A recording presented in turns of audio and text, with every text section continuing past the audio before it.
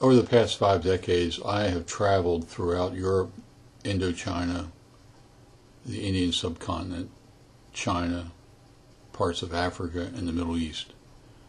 I love traveling. I learn more and appreciate all the differences of cultures, traditions, and ethnic backgrounds. I went to Myanmar during winter break to see Myanmar, its people, and interview the leaders of the human rights movement there. I went there to see and I came back a different person. I kid you not. I went to Myanmar to benefit my life and my teaching and my writing. And I came back not caring what benefited me, but what I could do to benefit them.